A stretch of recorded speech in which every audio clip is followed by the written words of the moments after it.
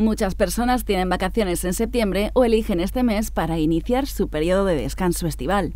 Además, todavía nos acompañan las altas temperaturas, un hecho que provoca el aumento de las crisis de ansiedad o ataques de pánico y acentúan sus síntomas.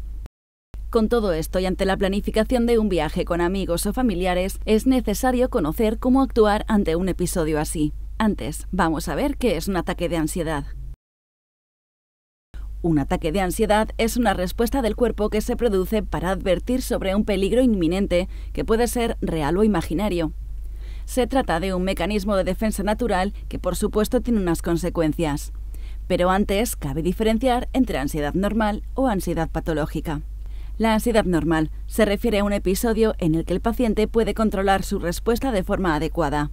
La ansiedad patológica es aquella que se mantiene en el tiempo y causa otros síntomas más desagradables en la persona.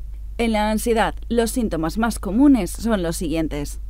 Aceleración del pulso o palpitaciones, taquicardias, opresión en el pecho, sudoración, temblor, dolor de garganta, dolor de cabeza, sofocos, náuseas, molestias gastrointestinales, escalofríos, mareos, sensación de irrealidad o verse en tercera persona, entre algunos más. Si alguno de nuestros acompañantes o alguna persona ajena a nuestro entorno pasara por una situación así, desde el conocimiento enfermero te recomendamos los siguientes consejos para atender a la persona.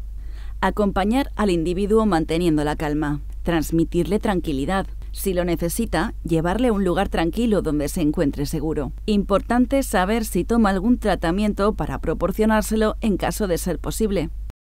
Hablarle de forma sosegada, con preguntas, frases sencillas y cortas.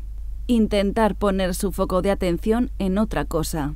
Mantener toda tu atención en esa persona sin perderla de vista. Si los síntomas remiten, preguntarle qué le ha provocado esa situación e intentar ayudarle si no desaparecieran los síntomas, acompañarle al centro sanitario más cercano. Ya sea en nuestro entorno o en un lugar ajeno a nuestra rutina, tener una buena educación en salud es esencial para evitar situaciones adversas que puedan complicarse.